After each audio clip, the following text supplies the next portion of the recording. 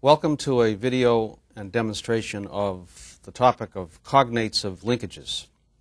I'm Professor Norton from WPI, and we'll give you a little um, background on the subject, and then I'm going to show you a model that I think will cement the idea as to how these cognates work. I'm going to start with a review of coupler curves. If you've seen my other video on coupler curves, then you already know all that stuff, but I think we need to start with a brief review of that. Then we'll introduce the topic of cognates, so called. We'll go to the Roberts and Cayley diagrams. I have a model of those which we'll show you, and then we'll talk briefly about geared five bar cognates of four bar linkages and sum it up. So here is a four bar linkage drawn with a very large coupler, extended so that I can pepper it full of holes to generate a coupler curves. So here is our link 2, which would be the crank. This is a Grashof linkage, so that can go in a full circle. Here's our link 4, which is a rocker. It's a Grashof crank rocker.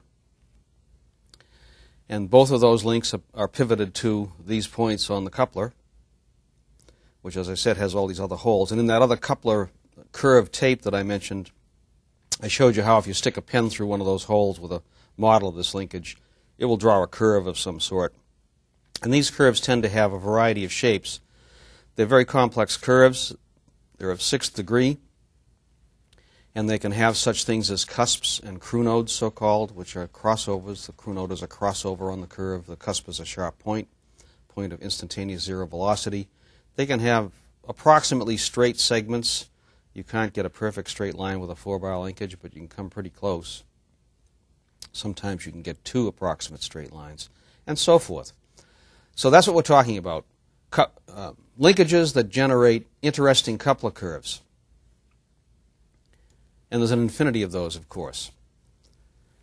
Now, way back in the 19th century, uh, late 1800s, two men independently discovered this uh, theorem, which is now given their joint names Samuel Roberts in England and Chebyshev in Russia, independently discovered that there are three different planar pin-jointed four-bar linkages that will trace the identical coupler curve. Later on, uh, Hartenberg and Denavit gave these the name cognates. So we're talking, when we use that term, about the triplet of four-bar linkages which give the same coupler curve. So the exercise here today is to find those other two members of the set of three given the first one. So here is a four-bar linkage this happens to be non-Grashof, but you know from uh, your readings or looking at the other tape that uh, non-Grashof linkages also give fully closed coupler curves, and you'll see this coupler curve in a bit. I didn't draw it on here, but it has some shape, something like that. And I need to move these links around, obviously, to get that, and we can't do that on paper, but we'll do it in the model very shortly. But first I want to show you how I will find the other two members of the set. Here's the trick.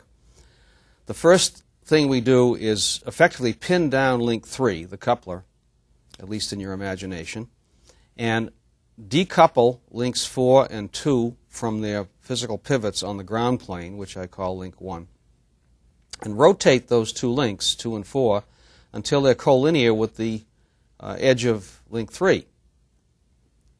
And having done that, I now have it in what we were, we're going to call the Cayley configuration, or the Cayley diagram. And by straightening those links out temporarily, I can now do this very simple construction. If I draw lines parallel to each side of the coupler, that's one side of the coupler, that's a line parallel to it. There's the other side of the coupler, there's a line parallel to it. Where they intersect will be a pivot of the other pair of cognates. I've labeled that OC to go along with the OA and the OB down here. This line is parallel to this edge of the coupler. And note that if I extend the edges of the coupler, like so and like so, in combination with this line parallel to my straightened out links down here, I find these other intersections and in fact, these triangles are geometrically similar to the original coupler. and these constitute the couplers of the other two cognates. So now I have all three of my cognates staring at me. I've numbered them. Uh, the original one was 2, 3, and 4, 1 being the ground plane. So here we have 5, 6, and 7, and 8, 9, and 10. So we have 10 links total, which might make you wonder, since we have three 4-bar linkages, why don't we have 12 links? Well, all three of them share one link in common, which is the ground plane, i.e. the paper. And so that knocks you back to 10.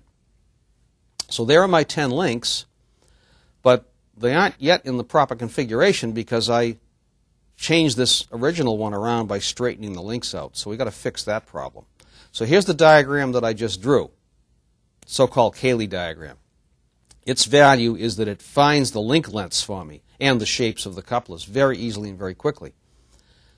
Now what I have to do is put it back into the original configuration. Recall that I decoupled this OA and OB, as I label them, from the ground plane and move them up to, into this collinear mode with link 3. We've got to put them back where they belong. So if I grab those links, 2 and 4, still with link 3 pinned to the paper, and I put them back where they belong without disconnecting any of this stuff, the others will follow along quite dutifully and it will pull OC down to the proper position where it belongs to give me the geometry of the finished three cognates. So now this is referred to as the Roberts diagram, and we're now looking at the three cognates together in their proper orientations with the pivots in the right place.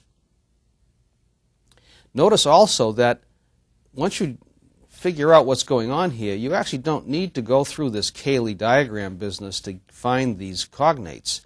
If I just started with this original linkage in gray, and I recognize that each of these loops here is a parallelogram, as you can see over on the Cayley diagram, so are they parallelograms here. They have to be. Once you make a parallelogram, it stays a parallelogram when you rotate it.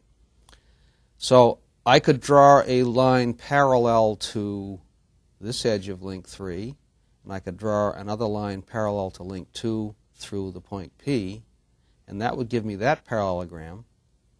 I could do the same over here. And then link 9 and link 6 are simply uh, similar triangles to the original link 3, so I can construct similar triangles. I know how to do that. The only remaining mystery is where is OC? You notice the dotted lines here. That triangle shown dotted is also similar to link 3, and if I place its base across the fixed pivots, it will tell me where OC is. So I don't really need the Cayley to get the Roberts, but it does make things simpler. Uh, and I will show you that in a second on the model.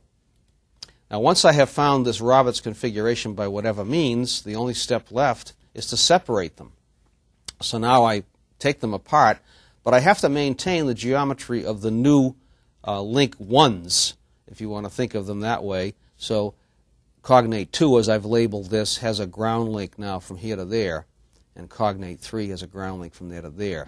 I've just pulled those apart sideways and separated them out. So I now have my three four-bar linkages that generate the same curve, and they are obviously different.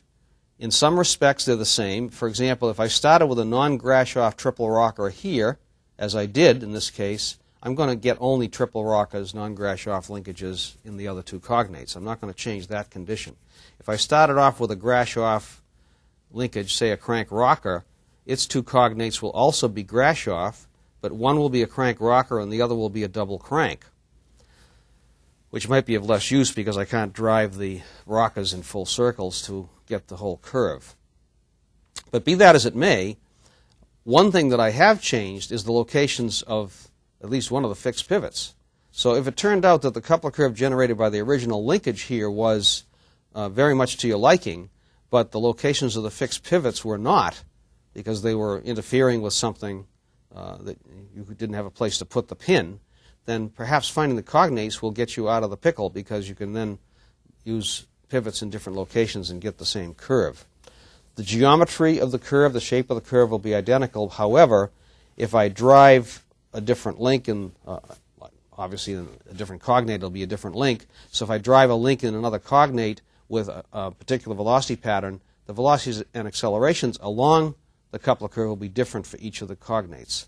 That's the major difference.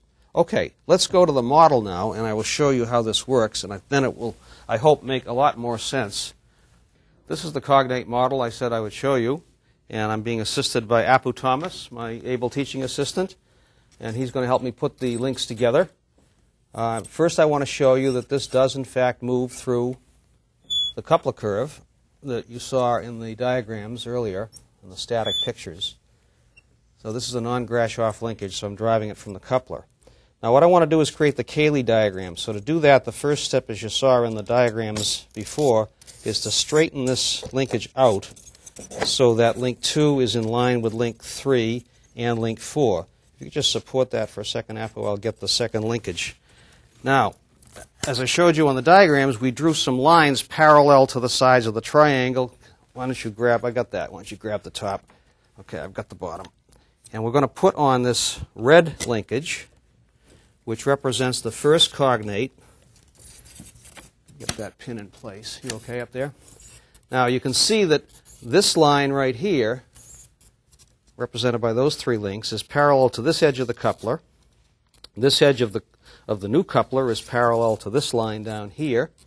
And if I draw each edge of the coupler and extend it, well, at least this one intersects at this point. We'll see the other one when we get the third linkage on, which Apu is going to bring over right now. So we have the third cognate, and we'll place that on the pins, if we can. There we go.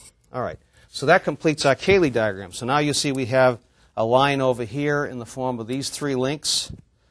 Um, I'm not sure what the numbers were in the diagrams now, but uh, this line is parallel to this edge and also this edge. These three triangles are similar, and that creates our Cayley diagram and finds for us the appropriate location of this pivot that I called OC up here. Now, here's the, the tricky part. We have to get this back from the Roberts to the, um, sorry, from the Cayley to the Roberts so Apu is going to man the top pin, and we're going to pull those out. It's a little tough to get out. And we move the link down here. You can see this pivot is going back to where it originally started. And I now have the Roberts configuration. Is that in up there? Okay. So now I'm back to the proper geometry for the original green linkage. And I now want to show you that all three of these, while connected together, can actually go through the entire coupler curve, provided that I pull on the right link here. And all three of those linkages generate the identical coupler curve, which is what makes them cognates. And put it back in the original configuration. That, in that position, should look something like the picture in your book of the Roberts diagram, because this, in fact, is the same linkage that we have in the book. The next step, which I'm not going to do here uh, on the model, would be, of course, to pull these apart, maintaining the appropriate center distances. So the red one with this center distance would be one of my cognates. The blue one with this center distance is a second of my cognates. And this is my original for the three cognates that generate the same linkage. So that should give you a better idea as to how these things relate better than what you can see on the static piece of paper. So, to recap what we just did, we took the original linkage, straightened it out, drew some lines parallel to this and that, similar triangles, to determine our link lengths.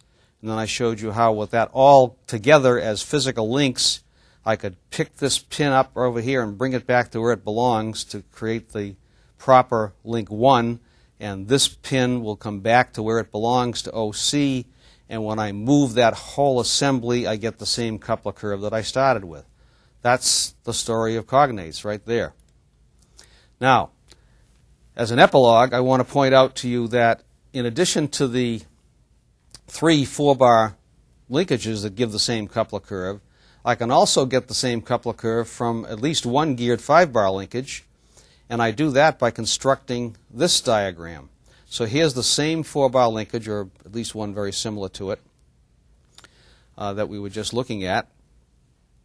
And I construct parallelograms now, in, shown in red, uh, for each of the sides of the coupler and one of the pivoted links, other side of coupler, other pivoted link. And these two red um, sets or dyads give me a five bar linkage, one being the original ground link. This would be, if I renumber them, two, three, four, five. I've got them five, six, seven, eight right here. Now, to drive that and make it one degree of freedom, I have to add a gear train. And in fact, it has to be a positive one gear ratio for this to work. So I need an idler in between the two gears that are on the two pivots, OA and OB. And link 5 is physically attached to this gear, and link 8 is physically attached to this gear. And if I rotate either link 5 or link 8 in this case, point P will generate exactly the same coupler curve as it did with the 4 bar linkage. Now, this is, in fact, a, a non Grashof 4 bar linkage as I've drawn it. And it may turn out that when you create this geared 5 bar equivalent, or cognate so called, that you may in fact have a Grashof configuration and you may be able to rotate this in a complete circle, which will make it be- easier to get through the whole curve, unlike the struggle I had with the diagram a moment ago. There also are some uh, six bar linkages that will give you the same coupler curve. And this is explained in more detail in your textbook. I think it's in chapter 3. No, I'm sorry, it's in chapter 6. Okay, let's sum up what we've done.